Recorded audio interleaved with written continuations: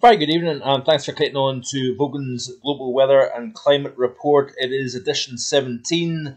Uh, thanks for watching this evening. Um, as always, looking at the global temperature anomaly for today of Climate Reanalyzer, and you can see here that the global average temperature is 0.4 above normal. Northern Hemisphere, a full 1 degree above the Southern Hemisphere, marginally below at 0.2.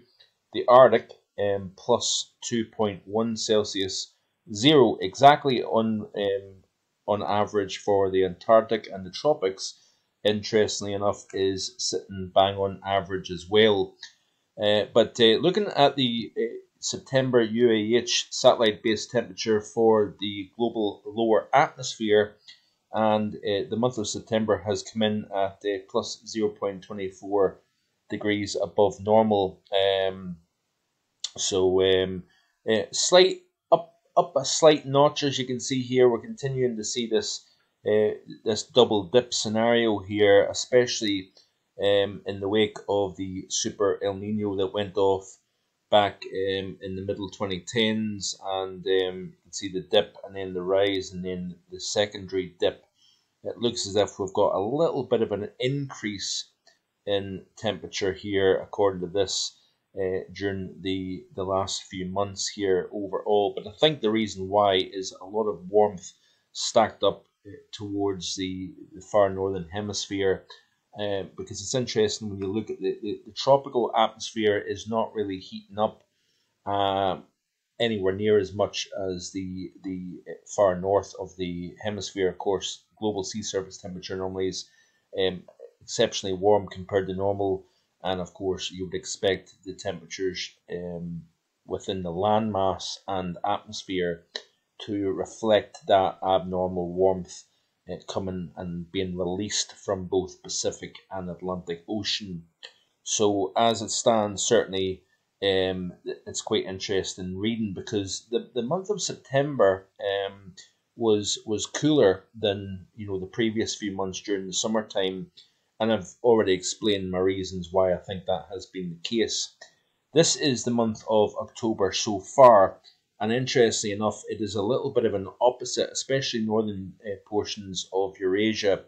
We've got a bit of an opposite look to what we had back during the month of September. As you can see here, this is the month of September, cold and average across the top, but the first, um, the first, well, 13 days of uh, of October has shown uh, a warming within the high latitudes uh, of, of the northern hemisphere, and we've seen an increase in cooling, especially across Mongolia, China.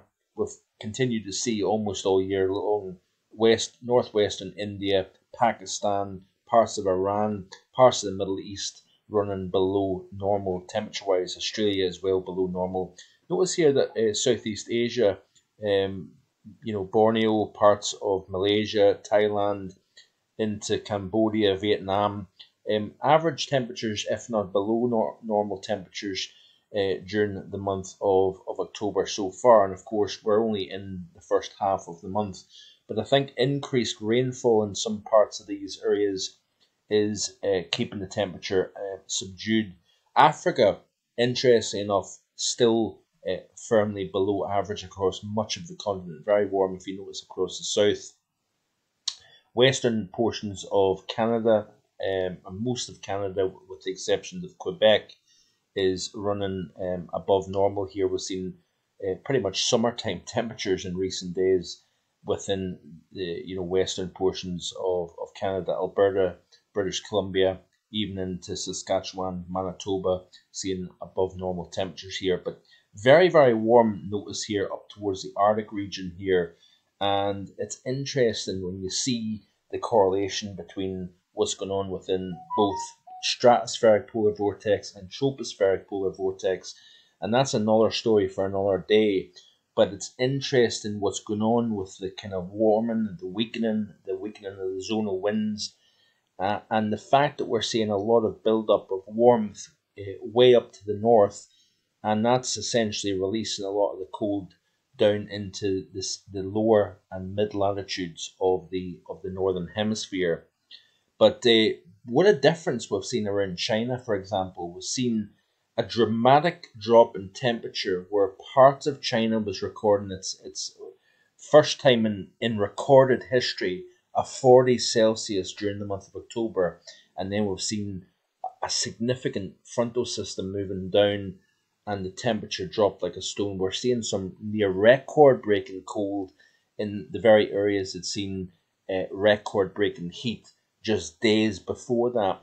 Now, um, I want to look actually at uh, what's going on uh, around the world w- when it comes to, to the weather and temperature and rainfall and whatnot. A lot of things going on at the moment.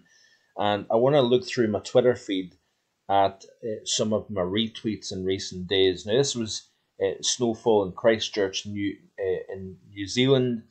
They recorded uh, for the first time in 53 years uh, snowfall during the month of October here. So that's very interesting uh, for sure. Um, you know, I to talk about the the pattern across the UK as well as across Europe and the Atlantic and the zonal nature of, of the weather at the moment here. Of course, if you if you are on Twitter, you don't already follow me, do check me out.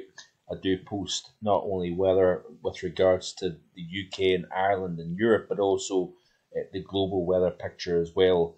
This is an interesting one here. So Tokyo, after seeing record breaking heat in, in in many parts of Japan, in fact, uh, people uh, in Tokyo were shivering. I believe this was the seventh of October in December like cold with a daytime temperature of only 13 Celsius or 55 Fahrenheit on Friday. Don't know whether that was the 7th, but it's a, week ago today, making it the coldest eh, eh, the coldest uh, October day in Tokyo in 88 years. So it's amazing sometimes when you see so much extreme heat, how nature can almost flick a switch and see the, the, the everything turning on its head. We're seeing that to a degree over the UK when it comes to rainfall. A barren past, you know, six, seven months uh, for the British Isles. We're now starting to see the rainfall increase. Uh, granted, southern portions of the British Isles, I've got several people, many people uh, making comment about the lack of rainfall still across the south of England. I get that. But on the grand scheme of things, we're starting to see the turnaround taking place. It's going to be interesting to see how much rainfall we'll get during the second half of October, on into November, on into December, January, and February. We'll wait and see. Heavy snowfall in Iceland here. Uh, remarkable snow depths for this time of the year. You can see this amazing uh, webcam image here uh, of heavy snowfall across parts of northern uh, Iceland at the moment here. Interesting tweet here by Severe Weather uh, Europe uh, talking about the linkage between October snow cover and the response to the stratospheric polar vortex here. Check that out if you haven't already done so. Uh, this was uh, a, a scene uh, of Hurricane Julia roaring ashore in Nicaragua. Uh, you know, savage winds, you know, over a foot of rain falling in only six hours. So incredible stuff, that's for sure, in Central America here. And it'll be interesting to see if there's any kind of linkage between late season tropical activity and early winter cold arriving for the British Isles here. Uh, again, something uh, that I would talk about in, in another time. But uh, this is another webcam view of the massive snow depth already being reported in parts of of uh, of Iceland here. Here's the rainfall. Interesting tweet by John Erdman talking about 406 millimeters of rain, over 16 inches of rain. Uh, so that's well over a foot, in fact, of rain falling in Liberia, Costa Rica, back on Sunday uh, in six hours. Some incredible stuff there. Uh, one of the latest 1.1 inches of snowfall in recorded history in Fairbanks, Alaska, as you can see here. And um, we are starting to see the snow increase across parts of Alaska and far northern Canada, despite the, the incredible warmth that we're seeing further south over Canada here. Uh, interesting tweet by by our good friend uh, Richard Trott, uh, talking about the fact that even with a, a westerly QBO, by the way, doesn't necessarily mean that we're not going to get winter cold. In fact, 2010, for example, was a West QBO uh, winter. Um, also, some analogues versus uh, forecast models showing uh, particularly early season uh, blocking up towards Greenland. Twin troughs, one over eastern North America, one over Western Europe here. Again, that's another thing that I'm going to be continuing to look at. Heavy snowfall, Inner Mongolia. Uh, this is the big turnaround from the record heat that we've seen in recent times. Uh, blizzard conditions, snow depths in some places upwards of 12 centimeters of snow, as you can see here. Um, some parts of China seeing the largest snowfall uh, for the second half of October or the earliest. In fact, actually, the early early portion of October, beyond and before the fifteenth of October, that's some of the, the heaviest snowfall. This is the Met Office forecast, by the way, for the November through January period here. It's showing a trough over the west of Europe, uh, blocking high pressure North Atlantic up in the Greenland here and um, Julius here talking about his analog package uh, showing high latitude blocking over Greenland, over the Arctic region, deep trough over the UK and Ireland here. So a lot of rumblings at the moment with regards to early season winter cold. That is something in the upcoming week, or certainly possibly the upcoming weekend. I'm going to be talking about the models and uh, more winter thoughts. So do stay tuned. This is an interesting tweet that I, I retweeted earlier this afternoon uh, by Andrew Miskelly, I think that is called. The guy is called. And look at this here. This is uh, the 30 HPA uh, vortex, the polar vortex over Antarctica, and is going gangbusters, as you can see here. Incredible stuff. It'll be interesting actually to see the temperatures over this region of the world here. Do we start to see the Antarctic temperature coming down?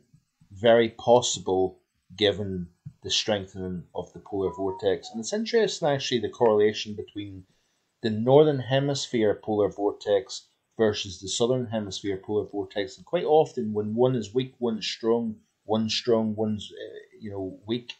So interesting stuff uh, actually. This is the current snow cover, by the way, over the northern hemisphere as of yesterday. So we're increasing snow now. Alaska, far northern Canada, as you can see here, and of course central uh, central Russia eastwards towards the uh, Pacific Ocean. We're now starting to see snow uh, increasing here. I think that may in fact be the Koreas, and we're starting to see snow North and South Korea uh, starting to develop here.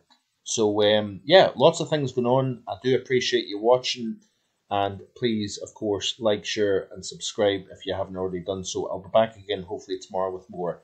Enjoy the rest of your Thursday evening. Bye for now.